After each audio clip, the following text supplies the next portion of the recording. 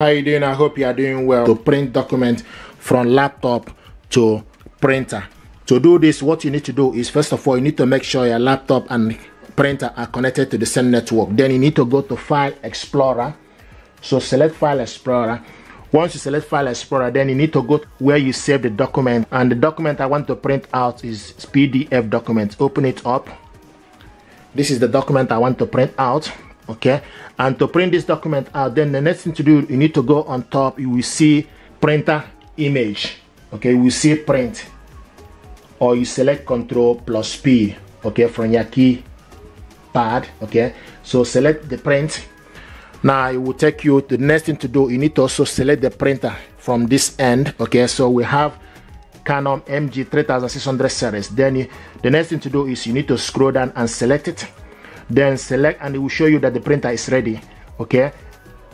So select canon mg 3600 series then select how many copies and also you need to select portrait or landscape then how many pages then the next thing is all pages okay?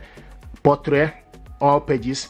Now scroll down to select the color black and white or color. So we are selecting this color then also print on both side. Select print on both sides scroll down to select print on both side. Long edge. Now the next thing to do is select print. Now this document now is going to is going to print out here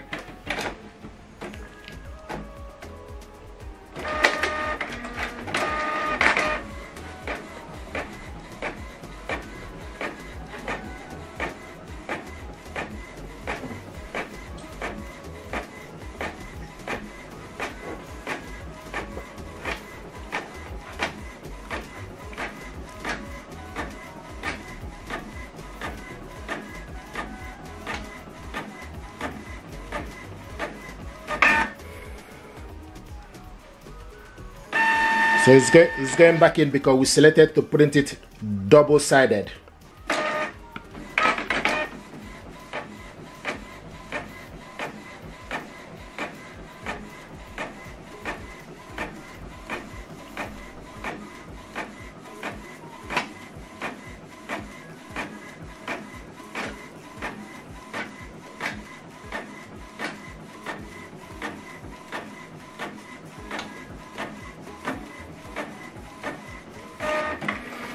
So this is the document, okay, we printed out